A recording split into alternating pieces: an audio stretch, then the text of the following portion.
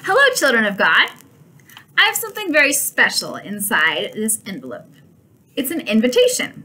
Now, you've probably received an invitation before, right? Maybe to someone's birthday party or another kind of party. Usually, it'll have your name on the front, and then on the inside, it'll have some details about when and where the party is going to be. And it usually will ask you to tell someone if you're going to plan to be there. Well, this is not a birthday party invitation, it's actually an invitation to my wedding.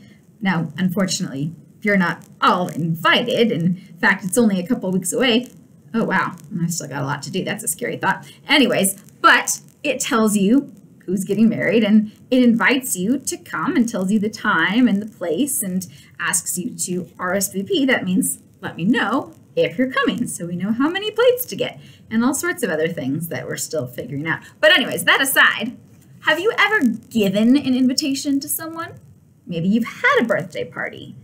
Now, when you give an invitation to someone, it's kind of like you have to think about who you want to invite to be at your party, right? And, you know, sometimes maybe you get to invite the whole class, but sometimes your parents might say you can only invite a few certain friends. And it can be hard to decide who's in or who's out. You know, it was hard for me to decide who to give invitations to my wedding to because there are a lot of people that I really like, and there are a lot of people who are special to me, but I don't want a lot of people to be at my wedding. I just kind of want it sort of small. So it was really hard because I had to think about who I liked the most, or maybe who was the most meaningful and most special in my life. And maybe when you're inviting people to a party, you think about who your favorite friends are. Because after all, let's face it, we all have those favorite friends, those people who are really awesome and really special and really close to us. I mean, we don't want just anybody or everyone coming to our party, right? Well, here's a question Do you think that God has favorites? Does he write special invitations that are only for some people, but not for everyone? You know, this used to be the way that people thought it was. There used to be people who said that being part of God's family was like a very exclusive sort of club that only certain people were invited to, and only certain people were allowed to be part of God's chosen, chosen family, which is kind of, I guess, makes you feel special if you're one of those chosen, but it's pretty sad if you're not. But I have some wonderful news because that's not the way that God is. God doesn't just choose a few certain special people and everybody else is just out of luck. No, of course not, because God loves all of us. And He wants all of us to be part of His family. He wants us all to be chosen. He wants us all to be in heaven with Him someday. There's a really neat story in the New Testament in the book of Acts, and it's about a man named Peter. Well, there are a lot of cool stories about a man named Peter and Paul and a lot of other stories, but anyways, there's this one specific story about Peter. And Peter was hanging out on the roof one day, because that's sometimes what you would do. And he was sort of hungry because it was almost lunchtime. And he had this vision. And in this vision, there were all these animals that were just kind of flying from the sky. And a voice came and spoke and told him, Peter, take and eat these things.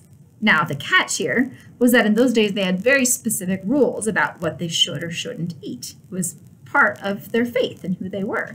Well, he had this vision three times in a row, and he thought, this must be telling me something.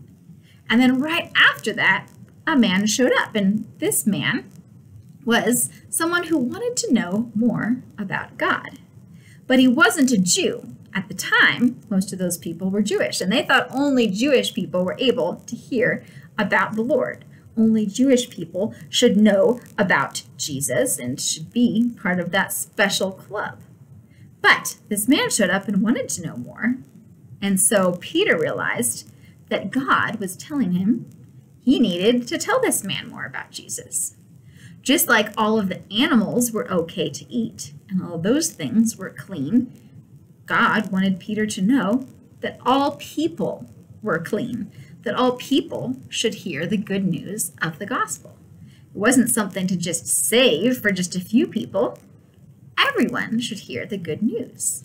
And so Peter started going around to other places and telling everyone, no matter who they were, no matter what background they came from, no matter what they looked like, Peter wanted to tell them about Jesus. And God wants us to do the same thing. First of all, God wants us to know that we are loved, that we are part of his family, that he loves us, and that he wants us to be close to him, and that he is close to us.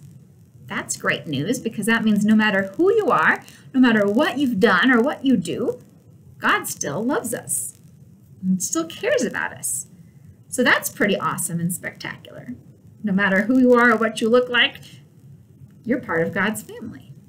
Now, the other great thing is that we can go and invite others to know Jesus. We can invite them to church. We can tell them about how much we love Jesus and how special he is we can just be their friend. It goes a long way to just show someone that you care about them, that you love them. And they'll see there's something special about you, and hopefully they'll want that to be part of their lives too. So maybe it's sending an invitation. Maybe it's just talking to someone. Maybe it's praying for someone too. There are many ways that we can be just like Peter, that we can tell the good news to others and invite them. And it doesn't just have to be the people that we like. It doesn't just have to be the people that are closest to us or the ones that we would want to have at our birthday party or wedding. No, everyone, everyone needs to hear this great news. And everyone needs to know that their lives can be blessed by knowing Jesus too. So, what are you waiting for?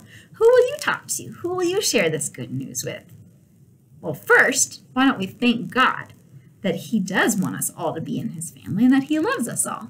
And we can ask him for help to share that good news and spread it to all around us. Let's pray.